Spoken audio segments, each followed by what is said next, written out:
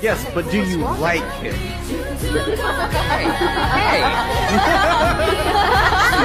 I'm sorry, baby. I didn't mean that. I love you. Oh.